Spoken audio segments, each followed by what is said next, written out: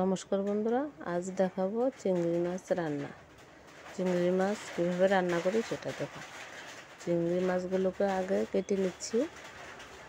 ভালোভাবে কেটে নিতে হবে চিংড়ি মাছগুলো।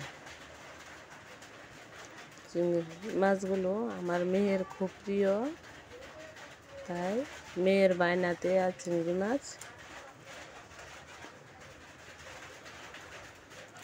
এই দেখো চিংড়ি মাছগুলো।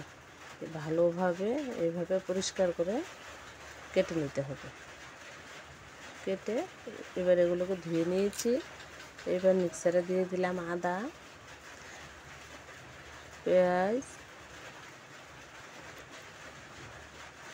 কাঁচা লঙ্কা আর একটা বড় সাইজের টমেটো মিক্সার করে নেব। খুব অল্প উপকরণ দিয়ে আমার চিংড়ি মাছ রান্না হয়ে যাবে। মিক্সার করা হয়ে গেছে। কড়াই বসিয়ে দিয়েছি। কড়াই গরম হয়ে গেছে। এবার দিয়ে দিচ্ছি তেল। তেল গরম হতে চিংড়ি মাছে আমি একটু হলুদ আর লবণ দিয়ে মেখে নিচ্ছি। তেল গরম হয়ে গেছে। এবার দিয়ে দিচ্ছি মাছগুলো। মাছগুলোকে ওইভাবে লাল লাল করে ভাজবো না, তবে একটু তেলে ভেজে নেব।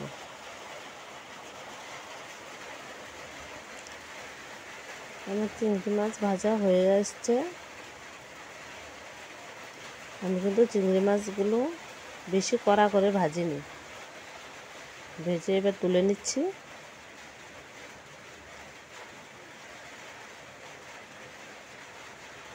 এই তেলে আবার দিয়ে দিচ্ছি আর একটু তেল। তেল গরম হতে এবার দিয়ে দেব শুকনো লঙ্কা আর তেজপাতা। শুকনো লঙ্কা, তেজপাতাটি একটু কালো হতেই দিয়ে দেব একটু চিকন জিরা।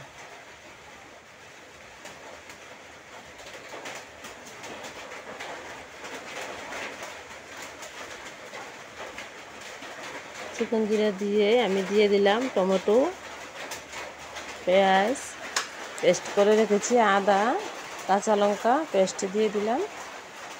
দিয়ে এবার ভালোভাবে এগুলোকে কষিয়ে নেব। এদিক দিয়ে আমি কাজু বাদাম আর মকর পিচি একসাথে মিক্সার করে নিচ্ছি। এই যে আমার মশলা কষা হয়ে গেছে। এবার জল দিয়ে দিলাম।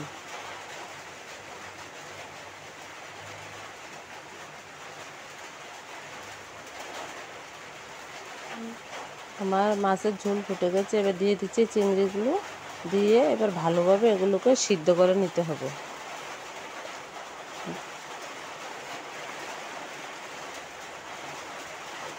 আমার চিংড়ি মাছগুলো সিদ্ধ হয়ে গেছে। এবার দিয়ে দিচ্ছি কাজু বাদাম আর মকর বিচি বাটা। দিয়ে আবার ভালোভাবে একটু নেড়ে চেড়ে, দেখো ঝোলটা কি ঘন হয়েছে। এবার দিয়ে দিচ্ছি এক চামচ ঘি। ঘি দিয়ে একটু নেড়ে চেড়ে নামিয়ে নিলে হয়ে গেছে আমার চিংড়ি মাছের মালাইকারি চিংড়ি মাছ রান্না হয়ে গেছে।